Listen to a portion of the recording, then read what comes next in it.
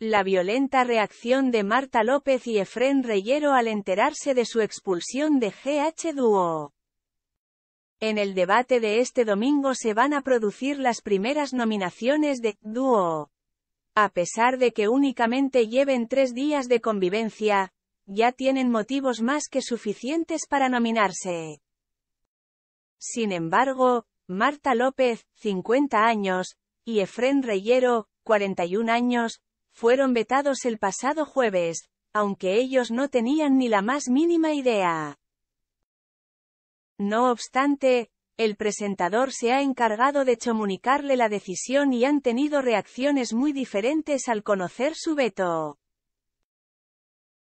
La mayoría de los participantes de esta edición no se habían dado a conocer, dejando el misterio para el último momento. Es por ello que el pasado jueves se desvelaron todos los integrantes y también las parejas que formaban para el reality, ya que se concursa en pareja.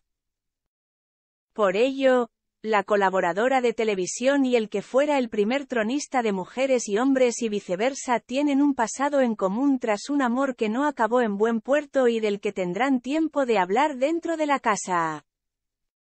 El pasado jueves hubo unos ganadores de la prueba, lo cual le otorgaba el privilegio de poder vetar a una pareja de cara a las nominaciones.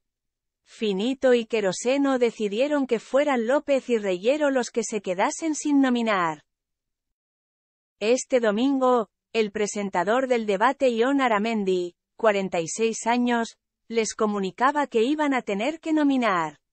Vuestra nominación no vale nada porque vosotros no podéis nominar esta semana. Habéis sido vetados, decía el vasco tras haberle pedido a Marta y Efren que dieran sus puntos.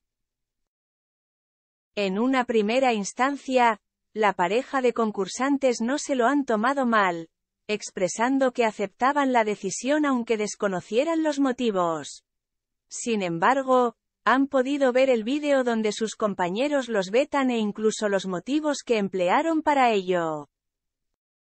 Uno de los hermanos decía que no veía con toda la ilusión a Marta por tratarse de la cuarta vez que ya estaba en la casa de Guadalix de la Sierra, algo que sirvió para ese veto por las primeras impresiones del pasado jueves.